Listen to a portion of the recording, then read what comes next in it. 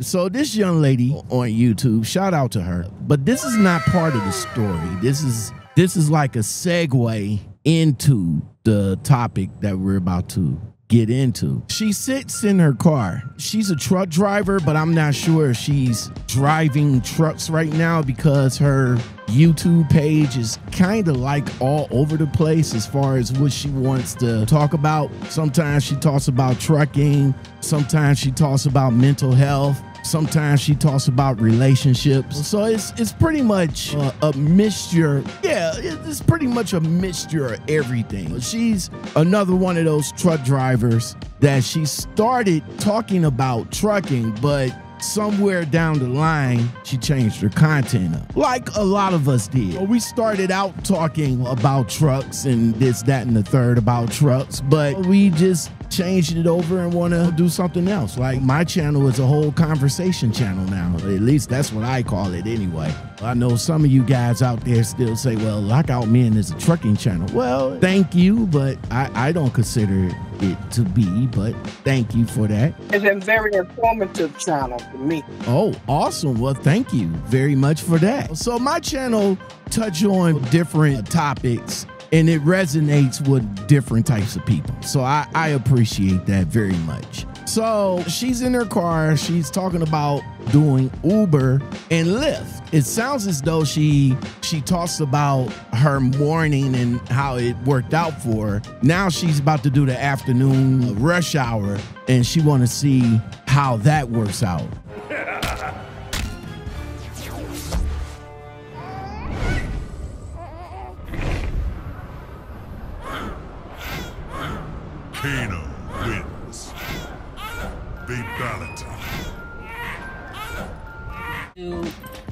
The five o'clock evening rush in um with Uber today, Uber and Lyft. So my Uber is activated. So I'm gonna see how the evening rush is to make money. I don't know if it's to be any more hectic than the 5 o'clock, the morning rush, but we're to find out today.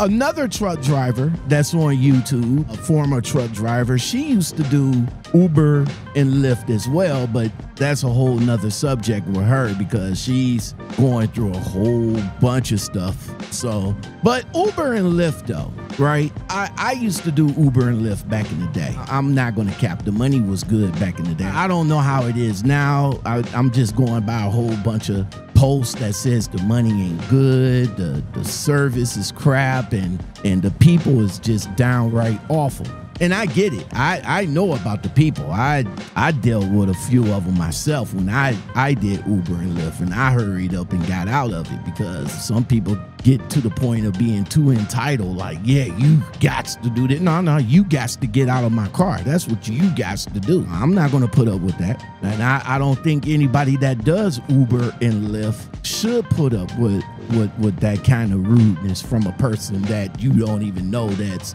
that's in the back seat of your car thinking that you're you're their personal chauffeur Right, for that for that little minute but i'm just saying at least personal chauffeurs get paid well to take the type of entitlement that people give them not Right. not an ordinary person that has their own car should take so Right. so we're heading to a crazy story out of Austin, Texas, where a woman is accused of pretending or posing as an Uber driver. Oh, She shit. drugged and robbed the men that she was Ubering around. It says that she stole about $33,000 from the one credit card that she took off the dude. So the story Hey, does anybody want coffee? Who wants coffee? I just made a fresh pot of coffee. Does anybody want coffee? So the story goes a woman accused of posing as an Uber driver in downtown Austin. She is arrested. It says 41 year old Destiny Connie Robinson is, is a suspect in at least two incidents that took place in Austin's entertainment district. The first happened August 6, 2023, which was last year, when a man got into the vehicle and he thought he was in an Uber. She offered him some water that was open. Like, let me stop the show. Like, bro, you you gonna drink out of an open container from a stranger? Yeah, right. We're not gonna do that. She offered him some water and it was open. Like, hey, you you want some water? Bro was like, yeah, yeah, let me get, yeah, I'll I'll drink after you. Like, really?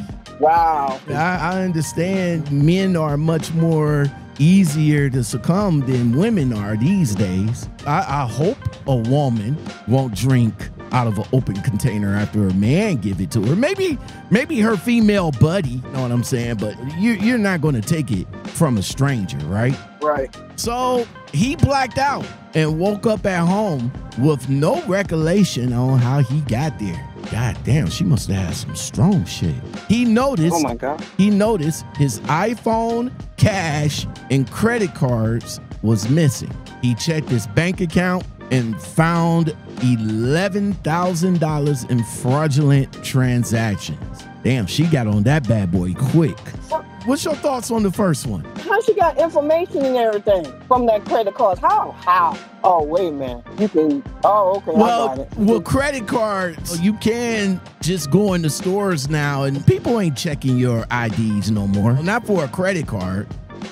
There's a few stores that might still have some standards, but I'll say about 80% of the stores that you go to now, they they ain't checking credit cards, especially when you when you got stores that got self checkout. Uh, what, what what the self checkout going to do? Like, then show your ID to the scanner or something like that? Nah, you just going to stick the credit card in, and if it goes through, good, and if it don't go through, then the the person that stole the card will pretty much figure out that somebody turned the card off already.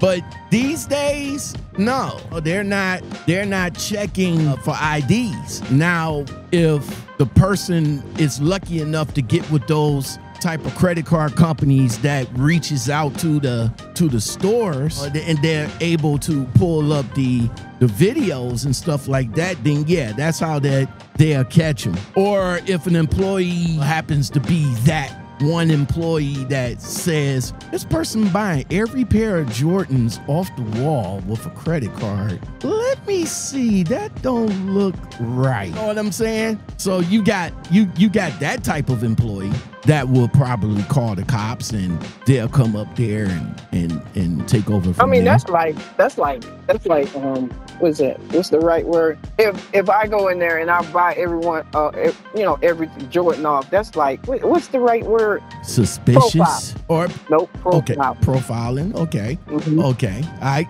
If I got it, I got it. You ain't gotta call the police. What? You know what I'm saying? I I I got you, but that's the only way that if your card comes up missing and somebody goes on an exuberant shopping spree, then wouldn't you Right. want that Karen to be that person? Do you want coffee? Who wants coffee? Uh-huh, right. So so crazy. I, I know, right? So again, 80% of the places don't. But if you was to go online and probably use that credit card online and then stuff gets shipped to the house and all like that that requires a signature and all like that. Now I know some outlets requires the delivery driver to actually see the card that they use to pay for it. I came across that. But but yeah, man. Yeah, she uh, she she popped him for eleven thousand dollars for the first dude.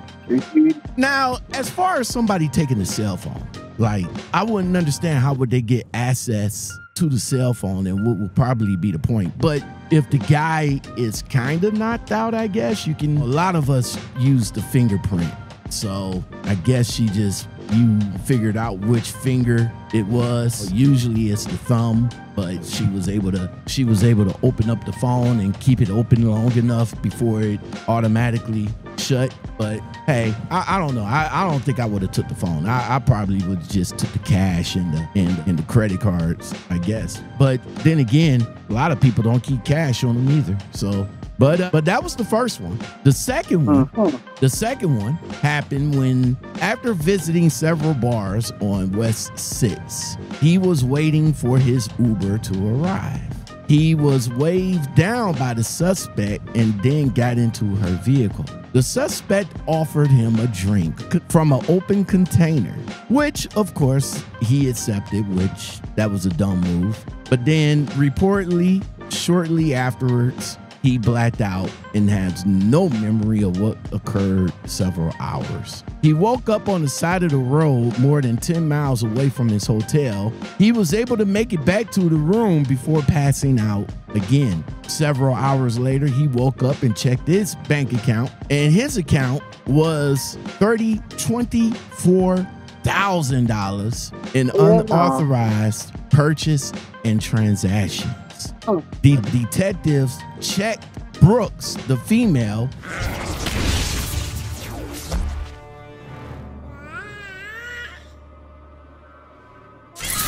Nightwolf wins. Babality. cellular data records and determined that she was in the area of the crimes and businesses where the stolen cards were used to make unauthorized purchase. So currently, she is a resident of the Travis County Jail. Don't take that long for them to get 'em. Didn't take long to get her at all. The first guy was 11,000.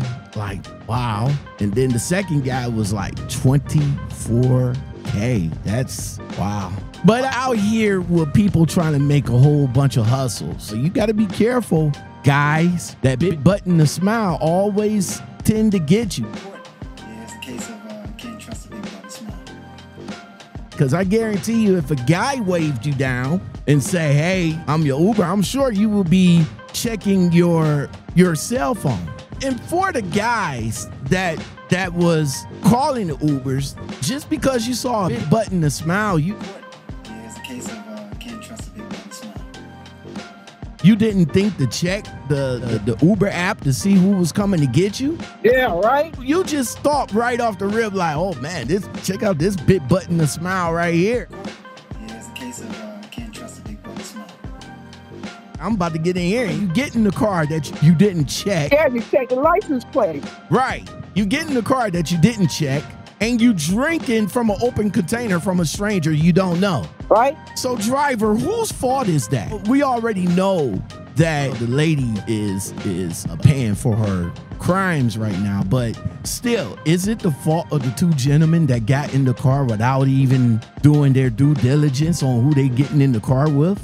That's that that right there is like, you know, people should know better. God dang, don't be so damn naive and stupid. You know? Especially the ones that be party going too. They don't pay attention. They be so damn looking up and all this other stuff. Ooh, I, I think that's what it was. I think they was drunk, and of course, when you're drunk, again, you're not going to pay attention to details. You call for Uber. If it was a male, then they would have checked the credentials. But being that this is a big button to smile,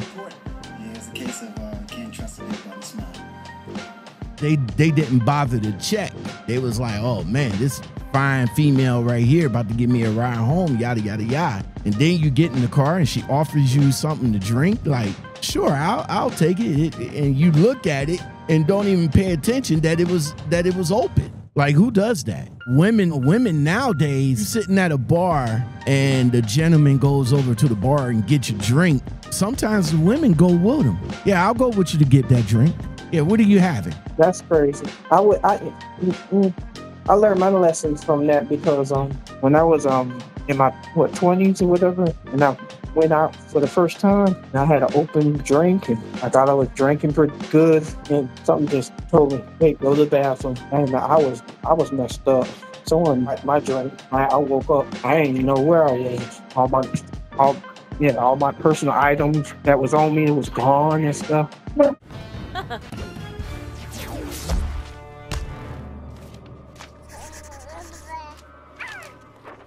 Jade wins. Babality. Man, that happened to you too. How long ago? How well? You said this is in your 20s, so this is like years ago. But what happened? You you you just happened to go out on a date, or or it's just it, or it was random. I just went out on my birthday. Yeah, I went out on my birthday. So you went out on a date on your birthday. You went out by yourself on your birthday. I went by myself. Oh, okay. And this happened. And this happened at a bar. Yep, a club. Wow. So you, Yeah. so so you, so you blacked out inside of the mm-hmm. club, like what? Now, No, no, no, no, no, no, no. I, I felt ill and I went to the bathroom and I, you know, hurled like that in the stall. So you would think that probably one of the females came in there and just took your stuff. I don't know who. I don't know. I have no idea. What was your? How did they get inside the stall? That's what I'm saying. I know I locked it. I guess they broke it, o- broke it open and saw me slumped over or whatever. So I what? don't remember. I don't. So so was you taken to the hospital? No, I was taken home. A friend of mine that I met inside the club, and it was a, you know, one of the uh, drag queens, whatever, and uh, they happen to not see me. I guess I don't know, but all I can re- recall is I'm in the back of a car, and they were talking to me at the same time, and I was still hurling. You you was able You to know. let you was able to tell them where you stay at so they can get you home. They knew where I said. Oh, okay, okay. That that Yeah. was good. Okay. Yeah, Wow. yeah, they knew exactly where I stayed at. Wow. But it's kind of fucked up, you know, because you never know who who's out there lurking, trying to murder somebody. I, I talk about females in trucking and how they need to really be careful with what they're doing out here and what they're showing out here. So yeah, man. I wow. Never know. Yeah, you never ever know, man.